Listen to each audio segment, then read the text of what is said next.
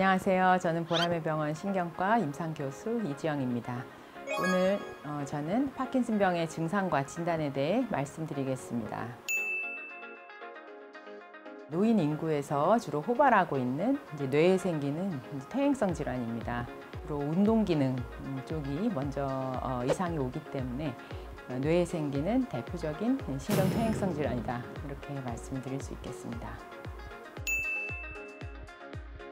파킨슨병을 이제 처음 발견했던 이제 영국의 의사 분의 이름이 제임스 파킨슨이었거든요. 그래서 그분의 이름을 따서 파킨슨 병이라고 우리가 이름을 붙이게 됐는데 파킨슨 증후군은 음, 파킨슨 병은 아닌데 파킨슨 병으로 어, 진단이 오인될 수도 있는 어, 그런 어, 비슷한 음, 증상을 보일 수도 있는 병들이어서 어, 같은 병이 아닙니다. 몸이 약간 어, 둔해지고 스스로는 뭔가 떨림이 살짝 느껴지는 그런 경우도 있고요. 또 상당히 많은 분들이 이제 근육 피로감을 호소하십니다. 그리고 수면 사이클에 이상이 오는 경우도 있고요. 인지 기능도 예전과 같지 않다 어, 이렇게 느끼시게 되는 경우가 많이 있어요. 어, 그런 일이 자주 발생하면 예, 파킨슨병에 대한 검진을 어, 해보시는 걸 추천합니다. 치매라는 거는 질병의 이름이라기보다는 뇌에 생긴 병으로 인한 결과를 얘기하는 그런 용어가 되겠습니다.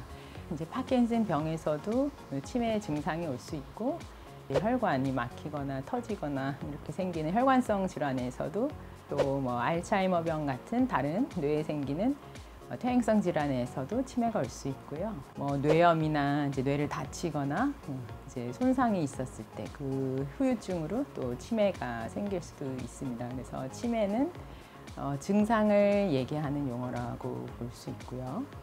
알츠하이머병은 주로는 이제 뇌 이제 축두엽과 해마의 위축이 생기면서 이제 치매가 생겨서 점점 이제 진행하는 그런 병이고요. 파킨슨 병은 이제 음, 치매 증상이 먼저 생기는 게 아니라 어, 이상 운동 증상이 먼저 생기고 몸의 움직임이 둔화되고 어, 그러면서 점차 진행하는 이제 그런 병이죠. 그래서 치매나 알츠하이머 병이나 파킨슨 병 이거는 세 개가 완전히 구별되는 그런 용어라고 어, 생각하시면 됩니다. 파킨슨 병의 어떤 이제 증상, 신경학적 증상은 이제 강직이라든지 어, 안정시 떨림, 몸의 서동증 이런 부분들이 있는데 이제 이런 것도 어, 신경학적 진찰을 통해서 어, 검진을 하게 되고요. 그런 게 확실하게 있다는 것이 확인이 되면 뇌 영상을 촬영하게 됩니다. MRI라고 불리는 자유문 영상을 촬영을 하고요. 어, MRI를 촬영하기가 어려운 그런 분들에게는 이제 CT를 촬영을 할 수가 있습니다. 어, MRI에 아무 이상이 없다고 했을 때 이제 그래도 이게 파킨슨병이 맞는지 사실은 애매한 경우들이 있죠. 예를 들면 어, 서동증이 이제 몸이 느려지고 둔하다라는 게 상당히 주관적인 부분도 있고 확실하게 둔하냐 아니냐 이런 부분은 음, 여전히 진찰을 받더라도 어, 애매할 수가 있는 거죠. 그래서 그런 부분들을 좀 더 확실하게 진단을 하는 방법은 펫CT를 이용해서 이제 뇌에 이제 도파민 신경계 쪽에 이상이 있는지를 확인하는 방법이 있습니다.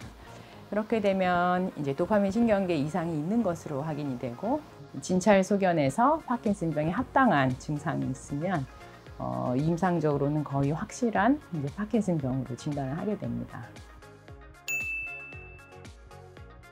파킨슨병은 보통 이제 한쪽에서 시작이 되는 경우가 많아요. 그래서 뭐 오른쪽 팔에서 시작이 된다. 이제 그렇게 되면 어, 왼쪽 팔도 증상이 나오는 거고 어, 팔다리 다 어, 몸이 강직이 생기다가 자세가 불안정해져서 몸을 움직일 때 쉽게 넘어지는 거죠.